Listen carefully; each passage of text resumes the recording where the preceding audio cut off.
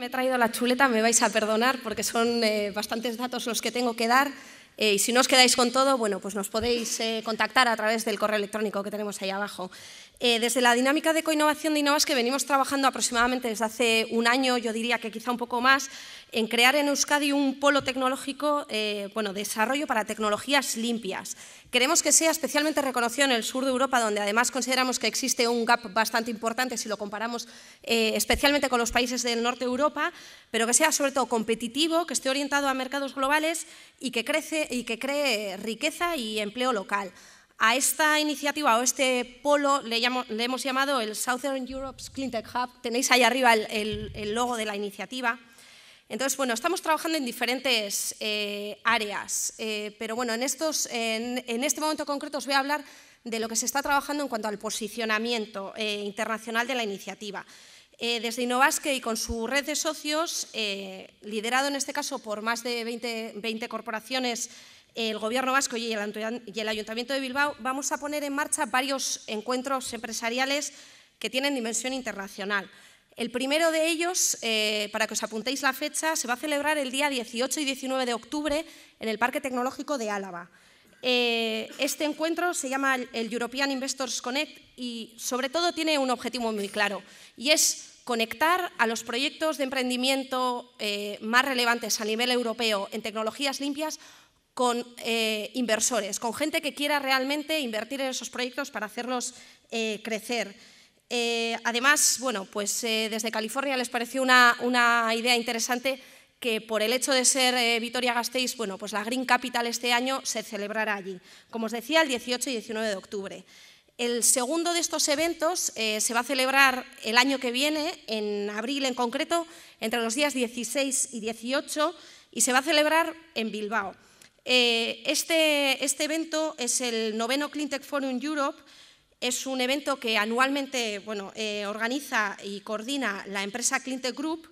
A este evento acuden anualmente, digamos, un alrededor de 500 ejecutivos de alto nivel y gran influencia en el mercado de las tecnologías limpias.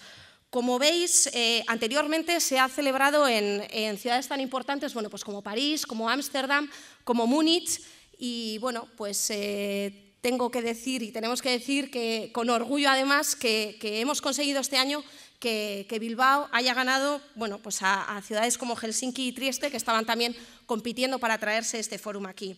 Eh, los contenidos de este fórum, básicamente eh, sesiones y workshops y presentaciones de proyectos empresariales que estén buscando tanto socios comerciales como financiación.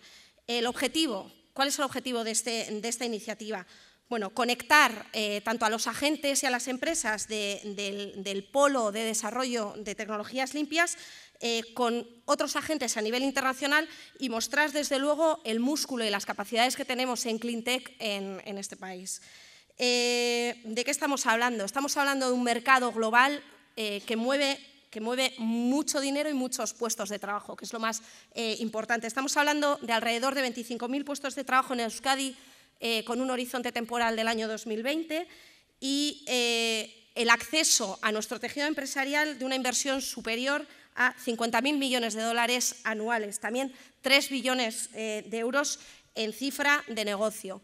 Por lo tanto, bueno, y además haciendo un poco un guiño a una de las preguntas que se ha hecho en, en la sesión anterior, ¿dónde voy a pedir dinero? Bueno, pues que sepáis que en concreto, eh, en, términos de tecnologías limpias, bueno, pues hay agentes eh, que están dispuestos a invertir si, realmente tenemos un, proyecto serio y, con garantías de futuro.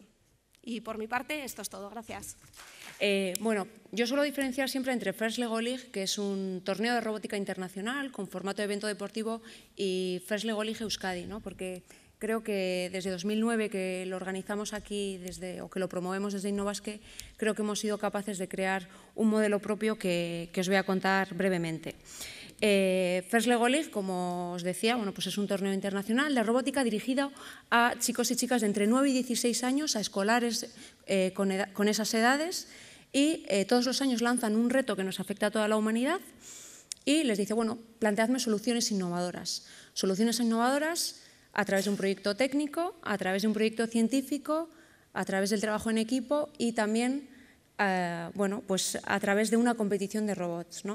Muchos supongo que os estaréis preguntando qué tiene que ver esa marca tan conocida para todos como es Lego, que todos hemos jugado de pequeños con ellos, con una competición de robótica. Pues Lego eh, se alió con el, con el MIT y crearon un robot educativo que seguramente estaréis viendo en alguna de esas fotos y crearon esta liga deportiva. Pero esto, que parece un juego de niños, eh, no lo es. Y me gustaría daros algunas cifras para que veáis un poquito la dimensión. A nivel internacional estamos hablando de que se celebra este torneo en más de 60 países, se celebran más de 400 torneos y mueve alrededor de más de 200 sponsors aproximadamente y cifras de la última edición. ¿Vale? El reto, la peculiaridad que tiene es que se juega a la vez, es decir, que al igual que el fútbol, eh, todos los equipos del mundo tienen el mismo reglamento, las mismas misiones y tienen que pensar sobre el mismo reto. Este año, por cierto, el reto es el envejecimiento, que creo que bueno, pues es un tema de bastante, de bastante actualidad. Entonces, para que os hagáis una idea, estamos hablando de 16.000 equipos en todo el mundo pensando a la vez. Estamos hablando de 200.000 adolescentes pensando a la vez en todo el mundo, que creo que son cifras eh, que, bueno, como soy de Bilbao, se equiparan un poquito al fútbol. ¿vale? En Euskadi, como decía, eh, desde Innovas que lo promovemos desde el año 2009, eh, es uno de esos 400 torneos que se celebran en todo el mundo. Eh, movemos a 350 jóvenes directamente en 34 equipos y una red de 120 voluntarios aproximadamente. Claro, si hacemos una comparativa de estos datos en Euskadi con los datos internacionales que he dado anteriormente, diréis, bueno, son gotas que se pierden en el océano, ¿no? Pero no, eh, First Lego League Euskadi, los chicos y chicas que compiten en First Lego League Euskadi han conseguido dar unos resultados tremendos. Y First Lego League Euskadi se ha convertido en una auténtica cantera de innovadores. Y estos resultados son medibles. First Lego League Euskadi ha conseguido desde 2009 dar dos patentes. Dos patentes de dos centros escolares. No estamos hablando de dos patentes de grandes tecnólogos, sino de chicos y chicas de 15 años. Entonces, eso bueno, pues supone no solo un espaldarazo al propio torneo y a la propia organización, sino un espaldarazo en que hay que seguir invirtiendo en educación, hay que seguir invirtiendo en fomentar vocaciones científico-tecnológicas y en fomentar innovadores. Y League lo hace.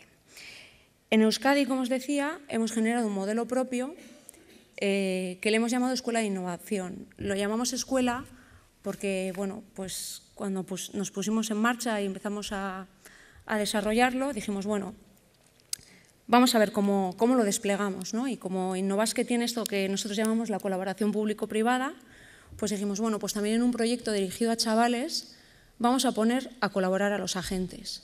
Y así invitamos a que se sumaran al proyecto a agentes científico-tecnológicos como pueden ser las corporaciones Tecnele y K4, que están muy, muy comprometidas con el proyecto, a empresas privadas como puede ser Euskaltel, Orbea o incluso Ausolan, también a la Administración Pública, con el Departamento de Industria y de Educación de Gobierno Vasco, a la universidad, como no, y también a los colegios. ¿Vale? En esa amalgama se genera un plan formativo teórico-práctico en el que estos chavales que participan en First Lego League van a los centros de investigación, conocen cómo es la vida de un investigador, eh, aprenden de ellos, incluso los propios eh, tecnólogos o divulgadores también se adaptan e intentan aprender con ellos, ¿no? ¿Cómo se explica un proyecto de investigación a un chaval de 14 años, ¿no? a una chica? Em, y así hemos conseguido, creo que el gran logro de First Lego Euskadi, podemos decir, que es que hemos conseguido incorporar el sistema de innovación a estos jóvenes. ¿vale? Decíamos que el reto de este año, de esta competición, de Lego League, es el envejecimiento. Creo que al envejecimiento se está dando respuesta desde muchas perspectivas, desde la administración pública, desde la empresa privada, desde los centros tecnológicos y un largo etcétera. ¿no? Incluso nosotros en nuestro día a día intentamos bueno, dar respuesta a esos retos que tenemos con las personas mayores. Bien, First Lego League este año, también los chavales de entre 9 y 16 años van a dar, van a dar respuesta a, este reto. Y lo hacen divirtiéndose, porque First League, y lo veis aquí en algunas fotos, es una fiesta. Está enfocado a que los chavales aprendan divirtiéndose y que, bueno, pues que se acerquen un poquito más al mundo de la empresa desde una perspectiva divertida y, de su edad. Entonces, solo me queda invitaros, 1 de diciembre, ponedlo en las agendas, en la sede de Euskaltel del Parque Tecnológico de Vizcaya. ¿Vale? Es que ricasco.